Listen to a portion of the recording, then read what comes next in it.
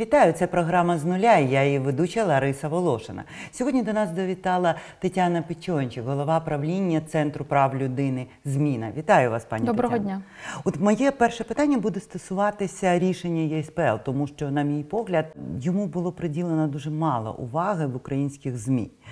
Я нагадаю нашим глядачам, що в кінці червня Європейський суд з прав людини прийняв рішення, яке правники назвали карколовним, розгромним, переможним для України. І стосується воно окупованого Криму. От що, на ваш погляд, в цьому рішенні такого, що воно заслужило от саме таких епітетів? Справді йому було приділено занадто мало уваги, особливо, по-перше, на фоні того, що у нас кожен день стаються якісь події, такі страшні, російські атаки і так далі. І так далі. І нам так бракує хороших надихаючих новин, а ця новина була саме такою. А по-друге, на фоні попереднього рішення Міжнародного суду ООН, е, яке було дуже консервативним, дуже холодним до України, це рішення справді є розгромним для Російської Федерації. Е, Зокрема, в ньому Європейський суд з прав людини е, визнав порушення Росією 14 статей Європейської конвенції про права людини, і практично немає такої статті, яку би Росія не порушувала, окупувавши Крим. Також важливо сказати, що це є перше рішення по міждержавній скарзі Україна проти Росії, а їх є в Європейському суді з прав людини чотири е, таких е, скарги. От по першій, по Криму, саме по кримським подіям, ми вже маємо е, це рішення. І, до речі, теж так малопомітно пройшло, але ж Росія також намагалася судитися з Україною, в тому ж таки Страсбурзькому європейському суді з прав людини. І якраз в, в цій в позові Росії проти України в скарзі суд відмовив. От я хотіла якраз про це спитати. Е, Крим і Донбас, що Україна порушує права людини в Криму, е, окупованому Криму і на Донбасі. А е, які кейси вони в якості доказів хотіли представити? Дискримінація, утиски там російськомовного населення, хунта, фашисти, тобто це їхня традиційні наративи, традиційні методички, за Тобто якими це за українською юрисдикцією вони позбирали свідчення? Е, Вони подавали свідчення дуже часто навіть не, не, не сильно підкріплені реальним фактажем, бо ми розуміємо, що такої системної практики не було, і це дуже часто просто базувалося на російській пропаганді. Але в даному випадку, коли ми говоримо про рішення Україна проти Росії саме в кримській справі, то воно налічує 350 сторінок, тобто це досить таке об'ємне е, рішення. І е, на ухвалення його суду е, знадобилося е, 10 років, адже Україна звернулася саме в цій справі до ЄСПЛ ще в 2014 році. От уже зараз 24-й, і нарешті ми маємо перше рішення. Було встановлено порушення ряду е, статей конвенції і порушення е, власне адміністративну практику, яка сформувалася Російською Федерацією. Що означає? Це означає, що ті порушення, які Росія вчиняє в Криму, це не поодинокі факти, а це є система. Тобто, що Російська Федерація системно утискає права людини е, в окупованому Криму. Можете назвати такі основні, е, на ваш погляд, параграфи? Які? Так, це все починаючи з першої статті порушення права на життя, і е, це, до речі, про насильницькі зникнення. Е, І в цьому рішенні Європейський суд з прав людини посилається, зокрема, на дані ООН, е, моніторингової місії ООН про те, що за перші 4 роки окупації Криму е, відбулося 43 випадки насильницьких зникнень в окупованому Криму. Ми пам'ятаємо випадок Решата Аметова, кримського татарина, е, який вийшов протестувати на початку березня 2014 року, був викрадений, потім його тіло зі слідами катувань було знайдено. Ервін Ібрагімов, який, до речі, вісім людей досі не знайдені ще з тих часів, так, жертви насильницьких зникнень. Далі, третя стаття Європейської конвенції, яка стосується заборони тортури і жорстокого поводження. Суд констатує, що Росія е, катувала наших е, політичних в'язнів, побиття, застосування електричного струму. Е, Також самими катуваннями були умови утримання в Сімферопольському СІЗО, де були перенаповнені камери, антисанітарія і так далі. І так далі. І що Російська Федерація, мало того, що катували її представники, ясно, що вона не розслідувала ні насильницькі зникнення, ні, ні тортури. Е, Далі це порушення базових прав, зокрема свободи слова. Е, тут суд також констатував, і, зокрема, він посилався в цьому рішенні на дані нашої організації та Кримської правозахисної групи. І з 14 по 19 рік ми зафіксували щонайменше 350 фактів порушення свободи е, слова і прав журналістів в окупованому Криму. І там в самому рішенні є посилання на, на наші дані. Е, це порушення права на приватність, повагу до ем, приватного і сімейного життя. І в цьому контексті Тобто це обшуки. Так, це там там є різні епізоди. Якщо ми кажемо про право на повагу до приватного сімейного життя, то це, по-перше, обшуки в е, будинках. Дуже часто це в кримсько-татарських е, поселеннях було. По-друге, це е, те, що Росія здійснила примусову паспортизацію населення, угу. і це європейський суд теж вважає порушенням права на повагу до приватного і сімейного життя, особливо зважаючи на те, що був наданий дуже малий час, щоб відмовитись. Тобто, це громадянство автоматично ці паспорти видавалися, і людина, тільки якщо не хотіла, мала відмовитися. І, і знову ж таки був вона дуже по... короткий термін. не могла існувати так. там, якщо вона відмовилася. Людина могла не бути в Криму, бо я знаю мої колеги-правозахисники, які виїхали з Криму відразу. Їм все одно там прийшли сповіщення, що паспорти їм видані. По-друге, навіть ті, хто був в Криму, це було всього декілька місяців, коли людина могла написати цю відмову, і тільки в кількох пунктах Криму. Тобто, тобто це було досить, досить складно зробити, дуже короткий час. І суд також признав, що це є порушенням права на е, повагу до приватного і сімейного життя. По-третє, депортація українських е, в'язнів, які перебували в кримських СІЗО в'язницях до в'язниць е, СІЗО колонії на території Російської Федерації. Щонайменше 12,5 тисяч українських в'язнів. Це і політичні в'язні, і ті, хто справді вчинили якісь злочини, можливо, ще за України були засуджені і сиділи. Е, частина з них були переміщені на територію Російської Федерації і таким чином ускладнили зв'язки з їхніми сім'ями, які, наприклад, могли проживати в Криму або на материковій Україні, особливо коли їх етапували за тисячі й тисячі кілометрів, як, наприклад, Нарімана Джеляла і багатьох інших, там 5 тисяч кілометрів. І відповідно, щоб родичам просто його відвідати, це. Дуже дорого і дуже тривалий е, час, щоб здійснити цю поїздку. Також е, були визнані Європейським судом порушення е, права на приватну власність. Це додатковий протокол номер один до Європейської конвенції про права людини, і право власності теж є захищеним. Тобто мова про конфіскації? Мова про конфіскації як державного майна, так і майна, яке належало юридичним компаніям або приватним особам, яке здійснила Російська Федерація.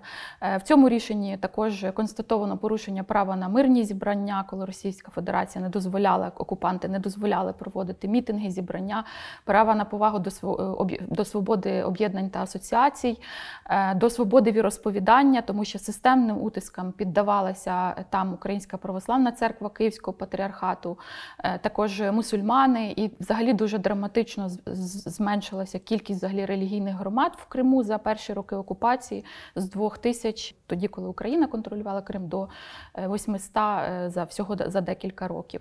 Е, тобто, це дуже дуже широкий спектр порушень, який е, констатував Європейський суд. Одне ще з важливих, до речі, системне порушення права на справедливий суд і угу. того, що не може бути покарання без закону, і тут.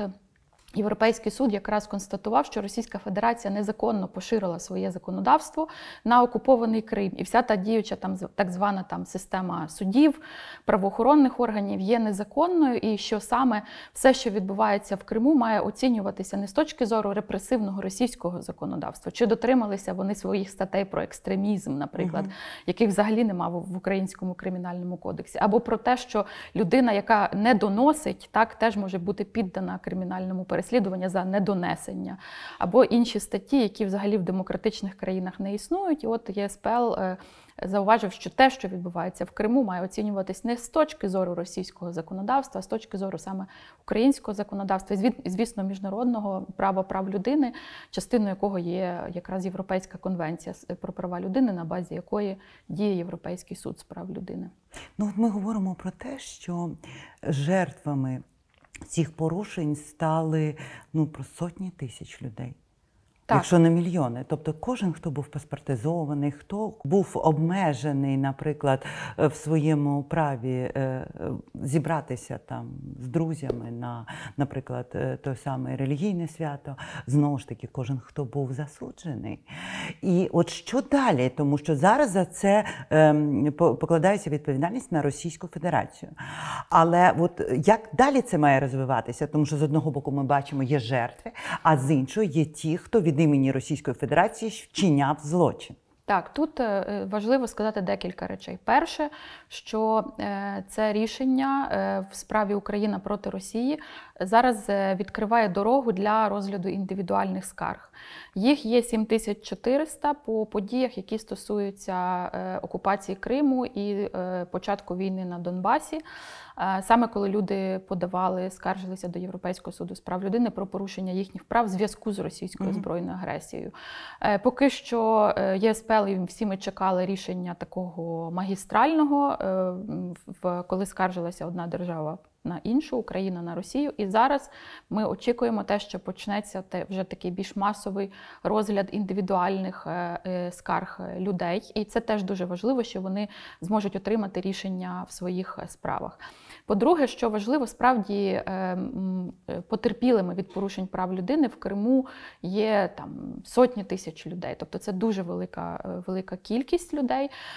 І тут важливо, в- важливим є те, що це рішення також власне створює певну правову базу для того, щоб ці люди, навіть ті, які не подали свої заяви Мгм. до ЄСПЛ, могли відстояти і захистити свої права.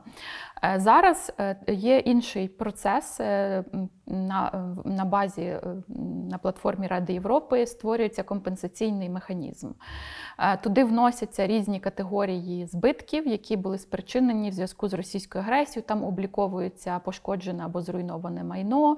Там мають пізніше бути також обліковано, якщо була нанесена шкода здоров'ю або життю людей, е, а також людям, які стали потерпілими від воєнних злочинів, від зґвалтувань, від тортур і так далі. І так далі. Це треба важче, бо треба розробити методологію, як це облікувати в грошах. Тому що коли є шкода для будинку, то це лег, легше об, об, облікувати. А як облікувати це? Але це також має бути напрацьовано.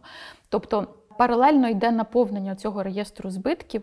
Єдине, що поки що е, цей реєстр збитків включає тільки е, ті справи, які відбулися після 24 лютого 2022 року. Тобто всі попередні 8 років окупації Криму не потрапляють в цей реєстр. Е, І в те, що зрештою це буде виставлено Російській Федерації, цей величезний рахунок, щоб вона його сплатила. Якщо вона не сплатила, то є заморожені активи Російської Мгм. Федерації, е, і є процес по тому, щоб власне ці активи стали базою для компенсації громадянам України. Тому це рішення Європейського суду з прав людини воно є важливим. Чому? Тому що воно показує і. До речі, я про це теж скажу, що е, російська агресія не почалася з 24 лютого 2022 року.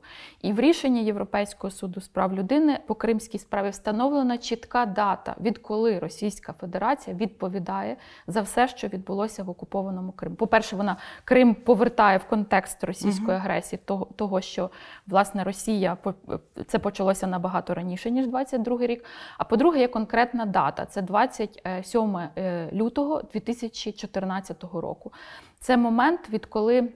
Україна втратила контроль над Кримом, і відколи Російська Федерація відповідає, в тому числі фінансово, е, за все, е, що відбувалося, за всі порушення прав людини, які відбувалися там. І до речі, це також допомагає спростувати е, міф російської пропаганди про те, що кримчані зробили свій добровільний вибір на референдумі в березні. Вони проголосували. Ні, ще майже за три тижні до проведення цього так званого референдуму Україна вже не контролювала Крим, і, і власне сам цей референдум відбувся під дулами автоматів. Він не є ніяким актом е, волевиявлення людей чи того, що вони так добровільно приєднались до Росії. І відповідно є чітка дата, відколи Росія е, має за все заплатити. І це також дуже важливо в контексті цього формування підґрунтя і підстав. Тобто ми бачимо, що на різних міжнародних майданчиках іноді воно йде на таких паралельних треках, але іде формування дуже солідної юридичної бази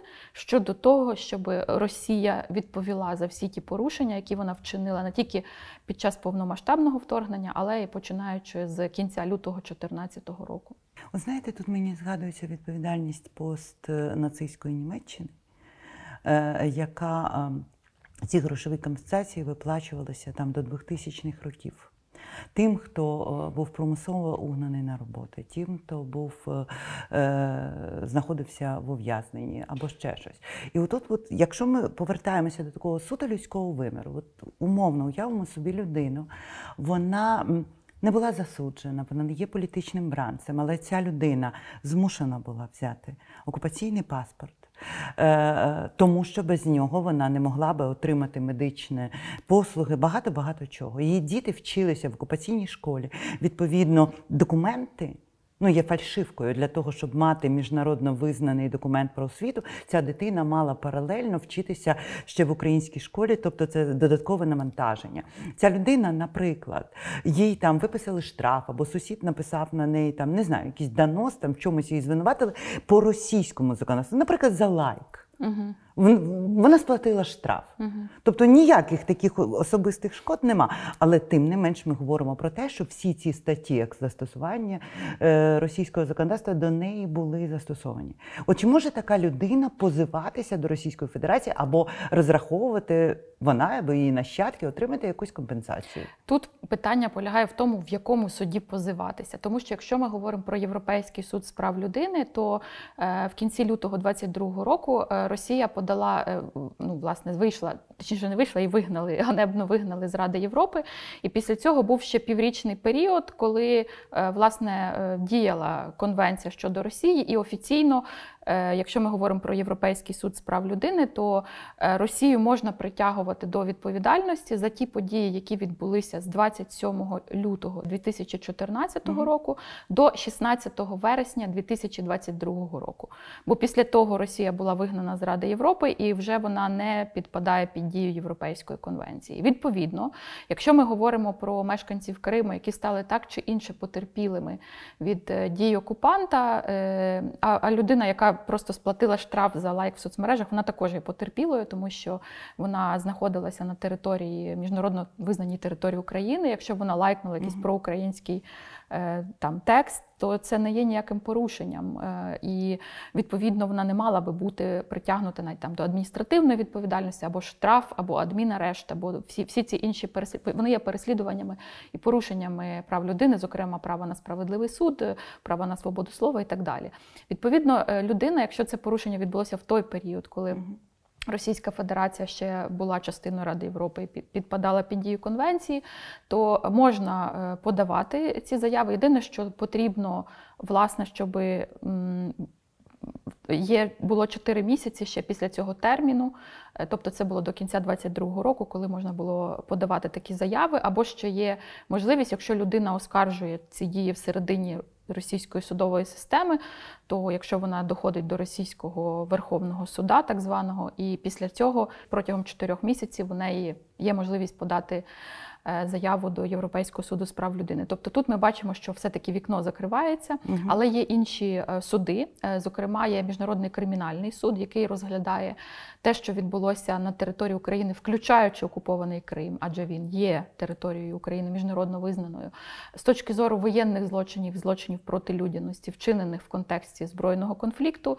А міжнародний кримінальний суд трактує всі події і окупацію, яка почалася в 2014 році збройним конфліктом, навіть якщо на території території Криму не відбувались безпосередньо збройні дії раніше, не було війни, все одно режим окупації є е, міжнародним збройним конфліктом.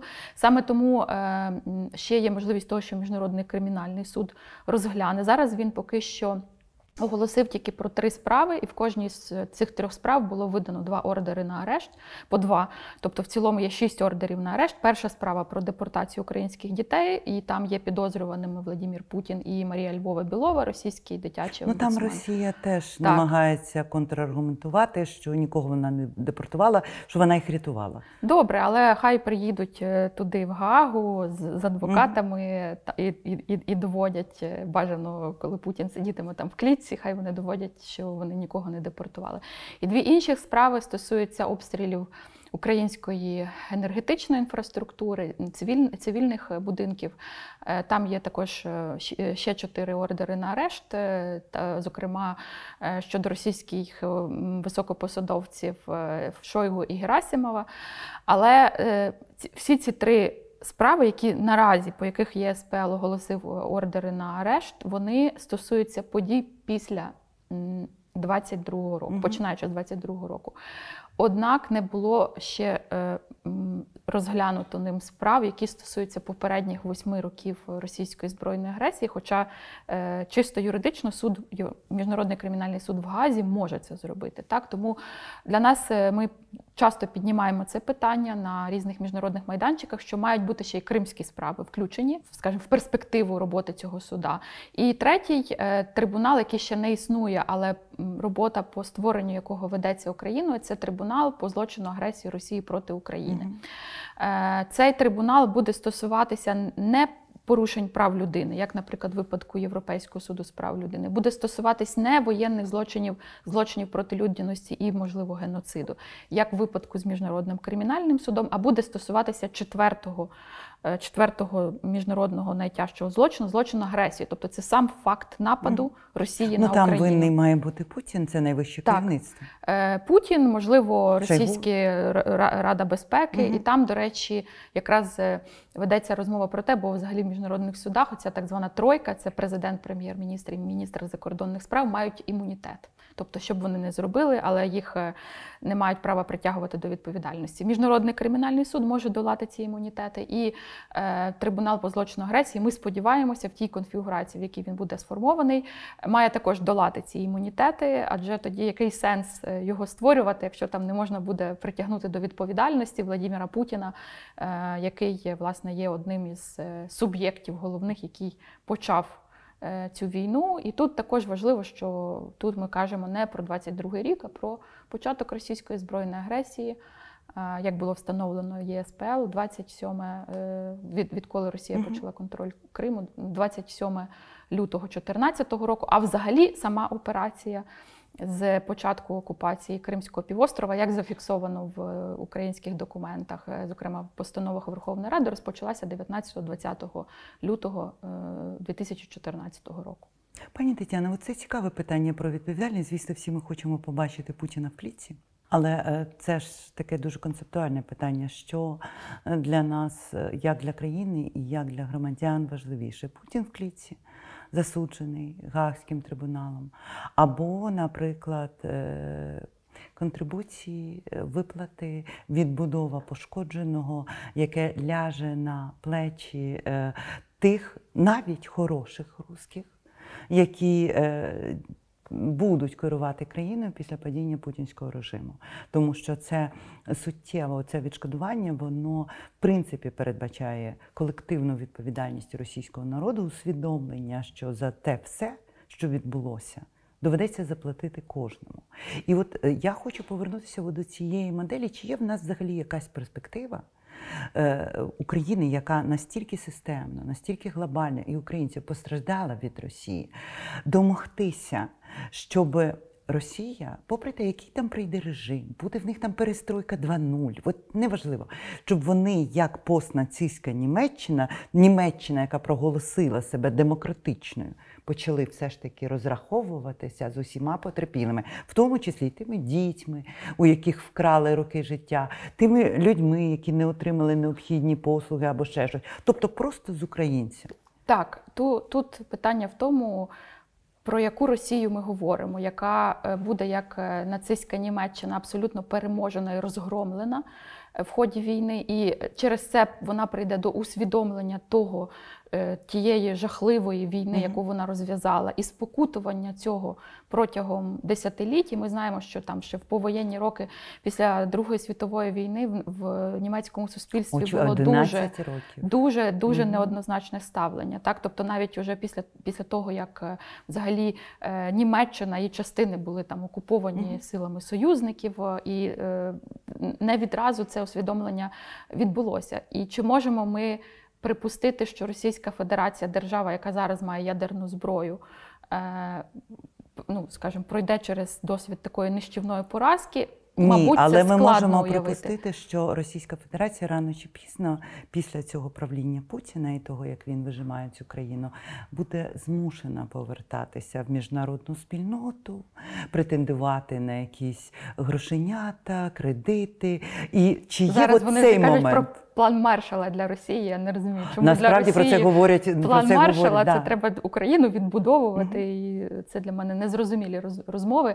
Але е, давайте скажемо більш реалістичний варіант, Мгм. що справді Російська Федерація там українські танки не будуть стояти на червоній площі, так е, вона не буде розгромлена. І е, в такому варіанті, мабуть. З одного боку, важко очікувати, що прийдуть якісь демократичні сили, бо для багатьох українців очевидно, що це не війна Путіна проти України, а це війна всього російського народу, який розпалений ненавистю до українців і підтримує в значній мірі цю війну. Тому навіть якщо зникне Путін, чи буде обраний якийсь, е, скажімо, лідер демократичний, який буде мати е, якісь сентименти, буде мати почуття вини перед е, українським народом, буде доносити це до росіян, я не знаю. Але я думаю, що реалістичний варіант е, може бути такий, що це ми вже говоримо зараз не в сфері права, а в сфері можливих варіантів, що просто російська економіка буде настільки знекровленою, е, що їй потрібно буде так чи інакше якимось чином повертатися в орбіти міжнародної економіки. Зараз ми бачимо, що в них є проблеми навіть з тим, щоб робити платежі Китаю, тобто навіть з їхніми найближчими союзниками через е, вторинні санкції, накладені Сполученими Штатами і союзниками, вони вже потерпають е, досить сильно. І якраз в тому моменті, коли вони захочуть повернутися, інтегруватися далі в світ, е, мати якісь стосунки економічні з демократичними країнами, їм доведеться виконати рішення міжнародних судів, які вони зараз принципово не хочуть ніяк е, виконувати, не, не бачать. І хоча, до речі, по справі Україна проти Росії, саме по Кримській справі, Російська Федерація її е, якраз до майже останнього моменту не ігнорувала і подавала заперечення, Мгм. подавала свої позиції. Наприклад, там був е, термін подання матеріалів до 28 лютого 2022 року. Це вже було 4 дні повномасштабного вторгнення. І уряд України е, навіть в таких складних умовах подав е, матеріали до цієї дати для Європейського суду. І Російська Федерація теж тобто подавала і взаємодіяла з судом, і казала: ні, ні, ні, ми нічого не порушуємо. Зараз вони вже кажуть, вже взагалі не відповідають ні на які комунікації. Але я думаю, що в якомусь моменті для того, щоб повернутися в демократичний джентльменський світ, чи принаймні е, їм хтось міг потиснути руку, чи мати якісь економічні зв'язки, їм е, доведеться виконати рішення міжнародних судів. І саме тому навіть зараз, от чому багато людей кажуть, от навіщо ці всі е, судові інстанції, ці рішення, тому що все одно ж Росія їх не виконує. І, на жаль, немає якоїсь міжнародної поліції, яка би поїхала там в Кремлі і заставила би їх, змусила виконати це рішення. Але е, так, е, це залежить від їхньої волі, але ця воля при певних обставинах може з'явитися. І ми сподіваємося і працюємо для того, щоб це сталося. Дякую, дякую, пані Тетяна. З нами була Тетяна Печончик, голова правління Центру прав людини. ЗМІ на цю програму для вас провела я, Лариса Волошина. На все добре, друзі.